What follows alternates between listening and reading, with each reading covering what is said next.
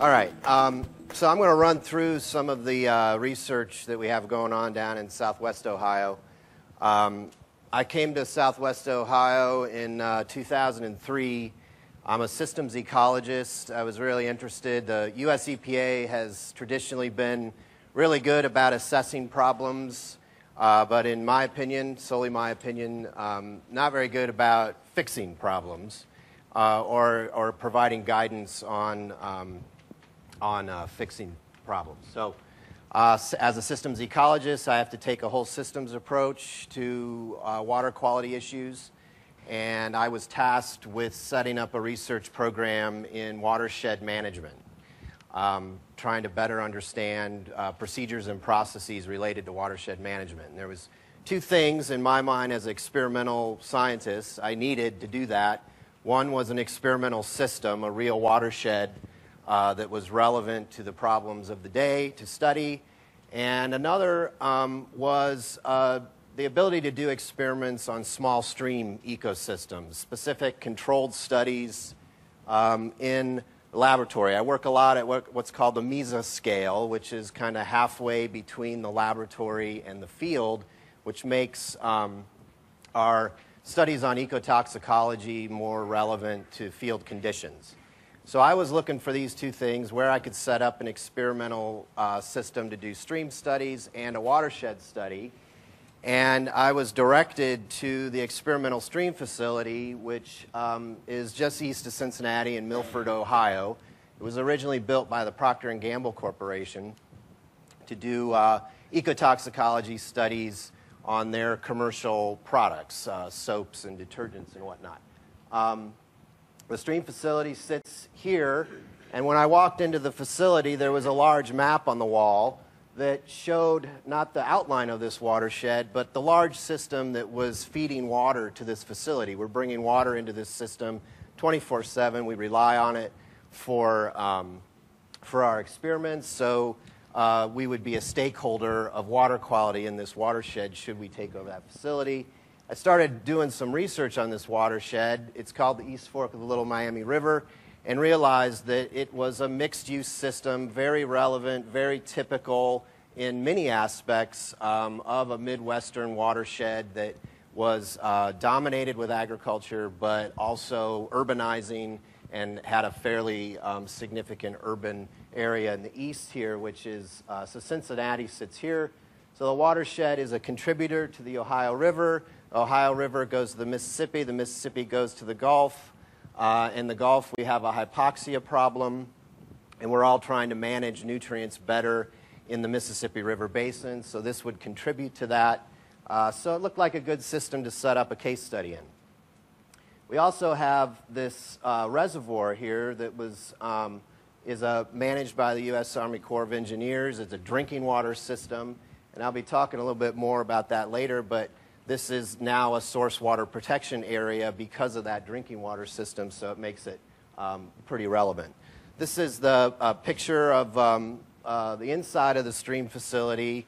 I encourage you all, if you're in the southwest area um, in the summertime, please pop in on us because that's when we're actively doing research and uh, can be pretty exciting. We, um, we use these mesocosms these are eight channel units, and each half is one mesocosm. We recreate a stream riffle section in these and has a full complement of bacteria, algae, bugs, all the way up to small minnows we get in here. And we can essentially do really controlled experiments where we're dosing uh, these systems, and it gets us a whole community response. Um, the, the facility doesn't it doesn't do justice to really talk about it. You have to see it. So I'm not going to spend a whole lot of time on it. We had some goals to begin with when we got into the facility. We wanted to make it one of the most realistic stream simulations in the world. We have advanced control that's uh, really state of the practice for the world in terms of um, uh, experimental facilities. And we can essentially mimic a wastewater discharge situation to a natural stream or a non point rainfall runoff type situation to a natural stream community. We can uh, really control the concentrations of contaminants that we might be interested in studying in this system. And we have um, come up with some um, interesting methods to be able to capture a whole community effect. So we're not just we are looking at individual organism responses to contamination, but also the whole community level because it's that community scale that ultimately the state environmental protection agency is doing their bioassessments on and they're using to qualify whether a stream is impacted or not. Uh, so we want to get that community response. This is a picture of us measuring adult, setting up to measure adult insect emergence. So that's the uh, adult insects emerging from the larval stage out of the stream.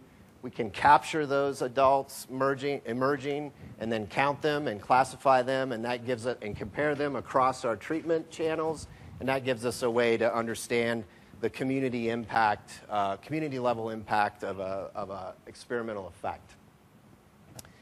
The, the facility has uh, become handy when we start looking at the watershed. This is a map of the bioassessment that the Ohio EPA did in 2012 for the East Fork watershed. There were 85 sites assessed, and everyone in um, red and yellow there is in non attainment. Uh, under law now, under Ohio law, each one of those HUC 12s um, that are, if, if there's an assessment area that falls within a HUC 12, then it's going to require a TMDL. And so, in order to get to that TMDL, the state has to decide on targets for, and we know that what's related to these bioassessments is excess nutrients. And so the state now has to identify targets for those nutrients to bring these systems that are impacted into attainment. And those targets need to be based on science. And so our uh, stream facility studies over the past uh, few years have been focusing on validating those targets, making a specific link between nutrients and the community structure that will help validate the targets that the state ultimately chooses. That's all I'm going to say about the stream facility um, from here on out. I'm going to focus now on uh, the watershed work and our experimental uh, system that we have going on there. We have a very dense monitoring network in this site. This is a 500 mile square watershed, 325,000 acres. Um, it's a good chunk, and that size ends up being kind of a sweet spot for using watershed models that can actually go from a parcel scale all the way up to a relevant watershed scale.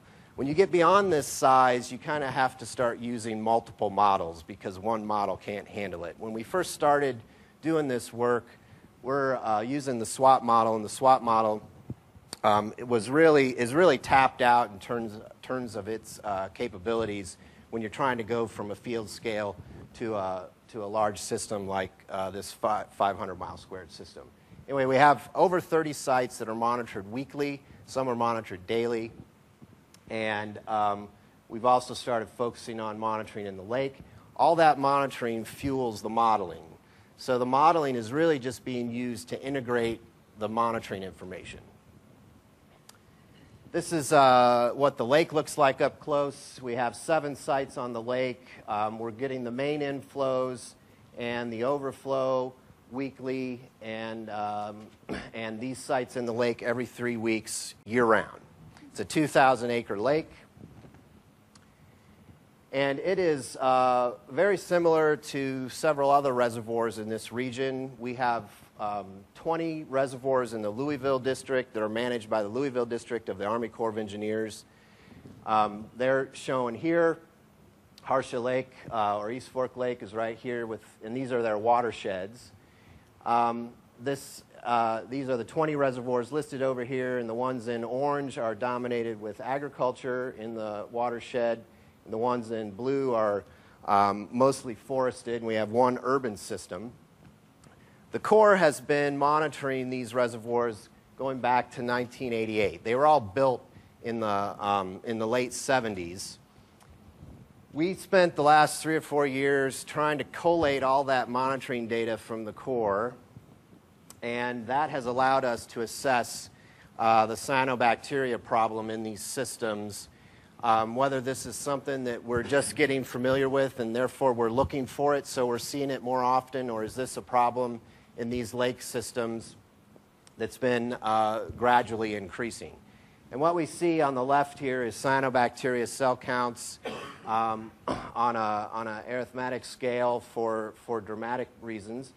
Um, we see the, the 100,000 cells per milliliter is the line that the World Health Organization says if you're swimming in this stuff, you're probably going to be, your health is going to be at risk. And we can see that all but the forested reservoirs started going above this relative risk line around about 2008. Uh, this is Harsha Lake, our, our case study system. There are several reservoirs that are seeing more algae, but this is a dramatic increase in cyanobacteria cells starting in 2008. We really started becoming concerned about it. The drinking water treatment plant operation in lake started becoming concerned about it in 2010. We started seeing beach advisories, swimming advisories in 2012. This is just another way of looking at that trend, um, with the yellow being where we were seeing moderate risk, and then the red being the high risk category this is on a, a log scale, so it collapses that and makes it a little bit more apparent.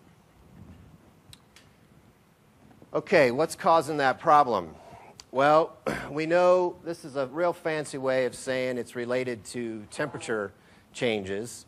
We know that the cyanobacteria like it hot. They uh, get a competitive advantage over other types of algae at about 23, 24 degrees Celsius.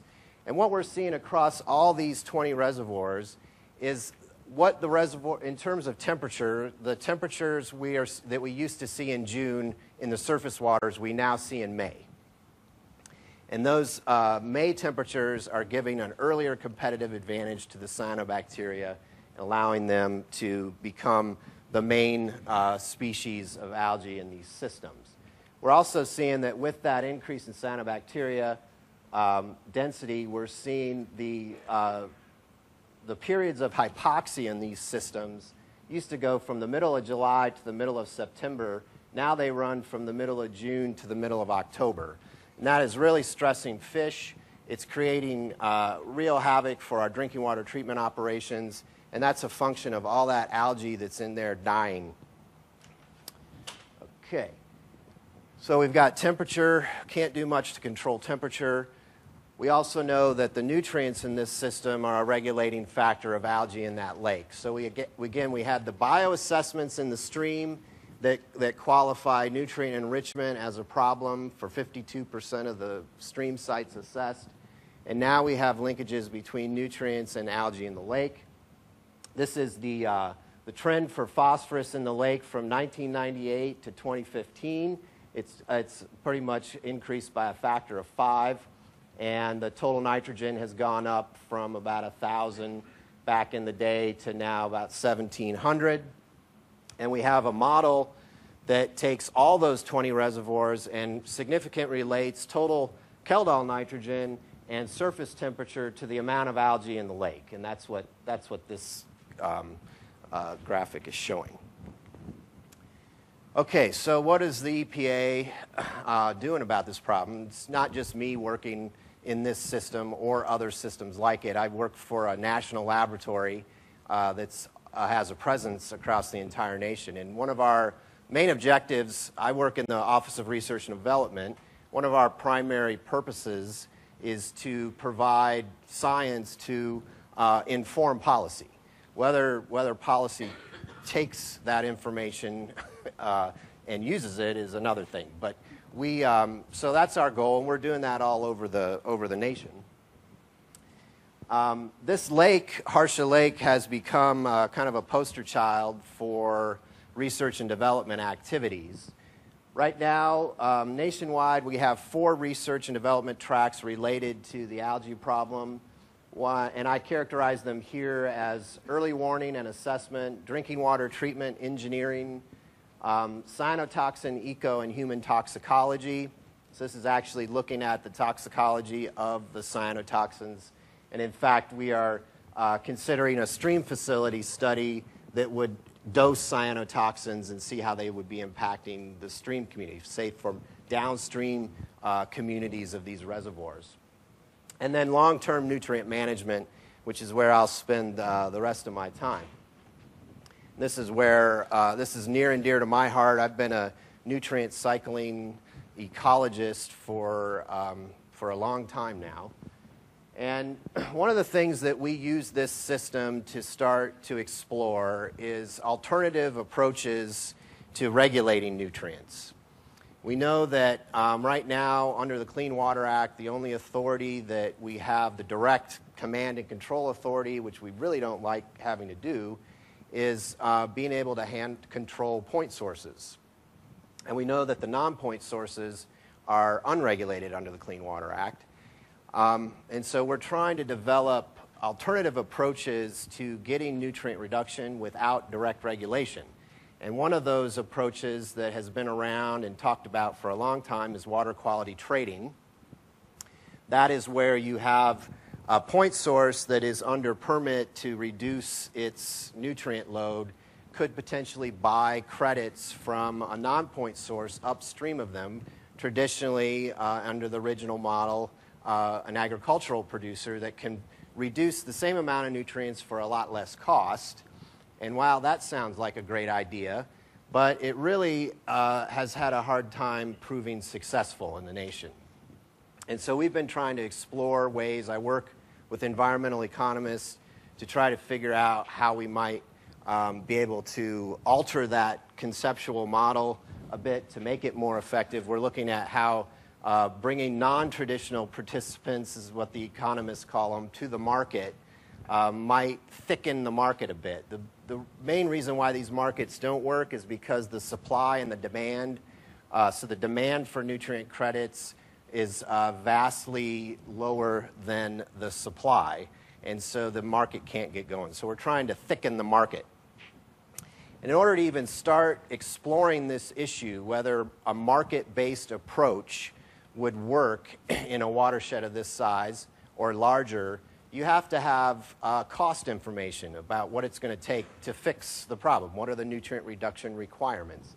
And as it turned out, uh, as of about four years ago, there wasn't really um, any specific guidance on how to derive that cost information. It was really kind of loosey goosey. Um, so we set about trying to formalize a process for deriving that information. And that's what this 12 step program is here. Um, and I'm just going to kind of run through uh, what, kind of give you some context of what, what that all entails. So I've already talked about the monitoring. This identifies some critical components that will be needed for a monitoring program. Uh, four in particular I'm not going to run through them, but there's also secondary considerations. And all these things kind of go to informing the model, calibrating the model so people can believe the model, um, and allowing you to track the effectiveness over the long term. That's critical. Second, really critical thing we found out is you have to have a stakeholder group, and you all have to be able to get along. We could not parameterize our model, set it up correctly without working directly with producers in the system. We do that a lot through our soil and water conservation districts. So we have this unique group. We call ourselves the East Fork Watershed Cooperative. And we've got federal, state, local, uh, local partners in this group. We meet quarterly. And we've been doing that since 2009. And it's been invaluable not only to us understanding the system more and uh, helping to guide the research, uh, but it's also helping to bring more money into this system to get uh, practices on the ground. Next, you have to set defensible targets. This is a lot of data on this slide. It's more just uh, for drama than um, anything else, other than to say that we use our monitoring to set, we have two approaches that we recommend for setting targets in this system. We use our monitoring, we use a reference condition approach, and then we can also, uh, now we're using molecular techniques to identify change points in the communities uh, in the, growing in the streams, specifically the algae growing on the subsurface, subsurface, on the benthos in the streams. We can look at molecular change points and use those to help identify targets. Those targets for the reference condition approach and this new molecular approach line up pretty well. We take our model, I mentioned we use the SWAT model. It's a, it's a somewhat unique application in that we can get down to, this is a HUC12 in the system, we can get down to the parcel scale where we can estimate nutrient runoff from those systems. That's validated by edge of field, um, an edge of field monitoring site in the system, which you'll be hearing more about in the next talk. Um, and then uh, we use that model and those targets to be able to identify the relative source distribution of nitrogen and phosphorus excess in the system, anywhere in the system. This is for uh, the, the actual load to Harsha Lake, but we could go all the way down to a single field scale, although it'd probably be irrelevant at that scale. But at a HUC 12 level, we could produce these pie charts also. So we're saying that there's a, the model and the monitoring are showing about 100,000 kilograms per year of phosphorus are going into the lake, about a million kilograms per year of nitrogen. And the source distribution, most of the phosphorus, 57%, um, just over most, uh, is um, soybean agriculture. We have two third beans and one third corn planted almost every year on 104,000 acres. And those beans are generating a lot of the phosphorus and the nitrogen runoff. Wastewater effluent in the system accounts for about 1%. There's nine wastewater treatment plants in the system. They're all pretty small. Uh, septic systems account for about 4% of the nitrogen, 2% of the phosphorus. So we take the model and we, uh, everybody has to reduce a little bit. Everybody, so to do an equitable um, nutrient reduction requirement, we've come up with a method, and I can't get into that now, but what, what this table down here says is what the plant effluent nitrogen and phosphorus concentrations would need to be in order for them to be in compliance with these targets. Um, and at the watershed as a whole, we've got to decrease the phosphorus and nitrogen load by like 90% to get us back to those uh, pre algae bloom conditions. It's a pretty big task. So, how much is it going to cost? The other unique thing about the SWAT model is that we can uh, predict what, how management practices are going to affect the model anywhere in the watershed. And this is the results of those predictions. So, several different monitoring scenarios where we have um, we've looked at modeling scenarios where we've looked at residue management, cover crops, filter strips, grass waterways, constructed wetlands, reducing fertilizer by 20%, reducing fertilizer by 60%, repairing septic systems. All of these, uh, these actors here could be potential suppliers of credit in a market. Uh, this compares to the cost of the plant upgrades that is here. You can see that if we were putting in wetlands, waterways, or filter strips or cover crops, we could get, this is pound of phosphorus or nitrogen uh, the cost per pound reduction. So we could get those uh, reductions for a handful of dollars compared to if we were treating wastewater plants, it would cost us about $2,000 to get a pound of reduction. Uh, believe it or not, septic system repair is even more than that for a, a pound of phosphorus or nitrogen reduction. And to put this into better context, so under the Clean Water Act, and point source regulation. The point sources are responsible for 1% of the phosphorus load in this system.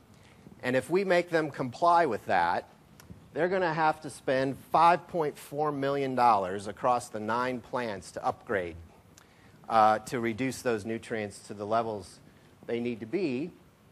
Alternatively, they could spend $425,000 buying credits from cover crops over only 7,900 acres of land and get the same amount of phosphorus removal.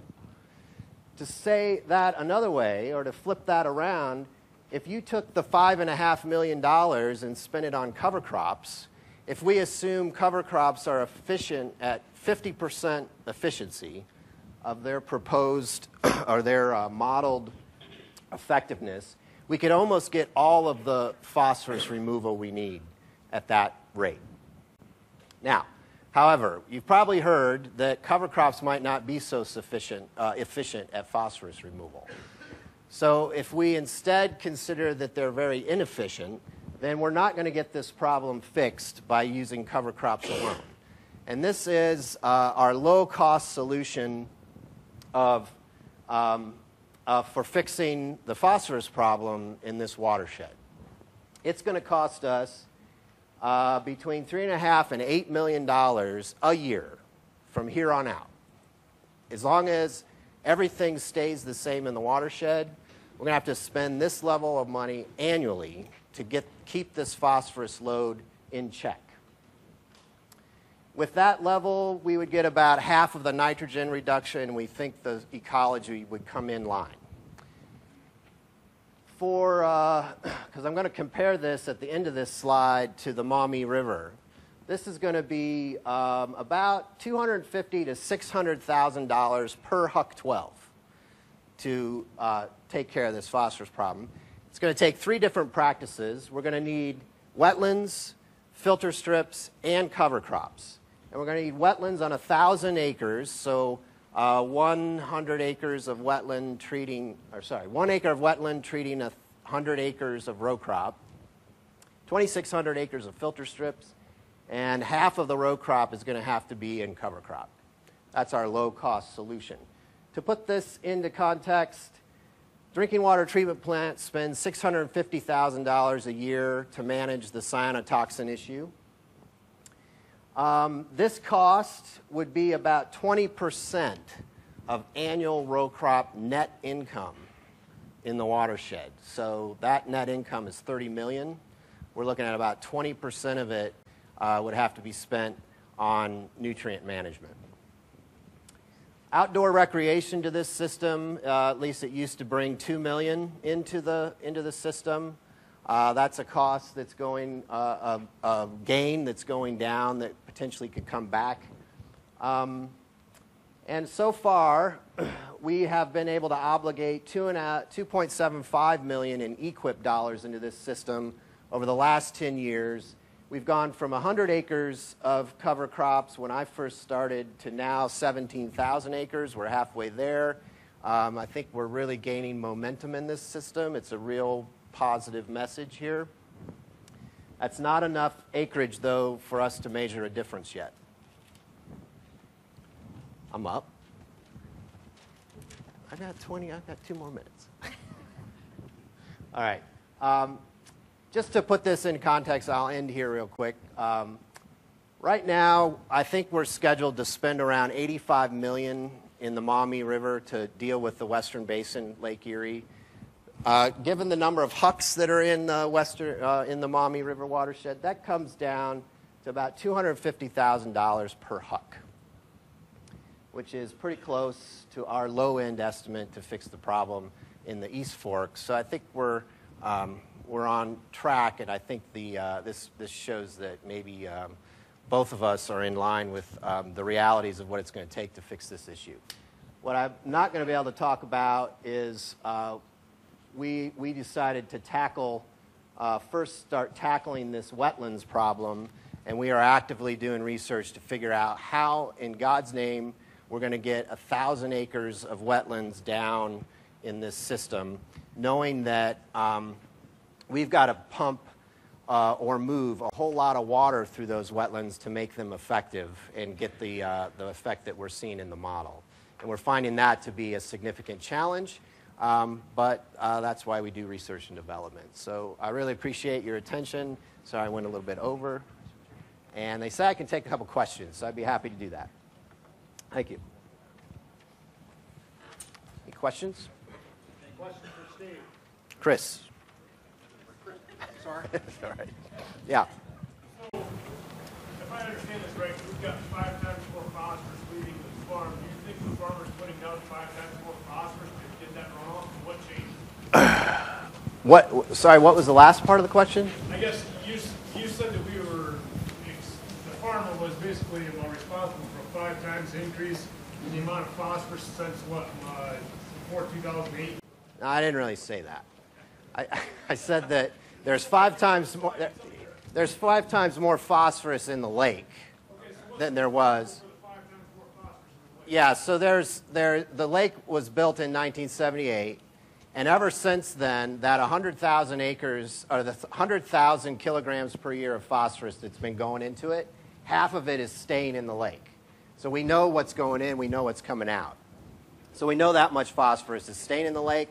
That's been accumulating, and so that is fueling the internal cycling of phosphorus that's driving the algae.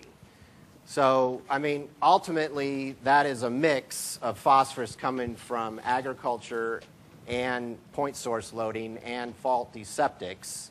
And on whole, the majority of that's going to be coming from um, agricultural uh, producers, but lands in row crop primarily, um, but not technically five times on that scale, if that makes any sense. So going forward, is there, there anything, I guess, what has been explained to me is that acid rain is responsible for some of this? Oh. Because the reduction in acid rain and if pH neutral water makes plant availability and uh, phosphates more plant available, so you get more algae bloom from it? No, that, um, so that, uh, there's a little bit of a, I'll, I can talk to you about that afterwards. I'd be happy to. I just, it's, it's a long, uh, a long sorted biogeochemistry uh, process there that I'd have to run through, and I can't do it in two seconds. Sorry. Yeah. How much of the phosphorus, in the- the solid phosphorus in the water column in Antarctica is coming off of the sediment, the history of sediments versus something that might be washing into the reservoir from upstream? Yeah, so, How much of that's absorbing off of those? Right. That soil is feeding this five times bigger? Right. And of course, the follow-up is that what can be done, it's more cost effective to deal with the sediments that are in the reservoir Right. than any other So what you're describing is what we're all calling now the legacy nutrient issue. Um, and it's this legacy, this buildup of nutrients in, the, in these reservoirs, um, and what to do about that. We are actively trying to figure out how to proportion out what level of, how much of the phosphorus that's driving the algae problem is coming from real time, this year loading in these inland lakes versus sediments. One thing that happens in these lakes when they get the algae blooms to the extent that they do now, they somewhat disconnect themselves from the sediment. And that the bloom becomes so active that all the nutrient turnover is happening in the water column itself. Um, and that's a pretty scary prospect to figure out how to manage.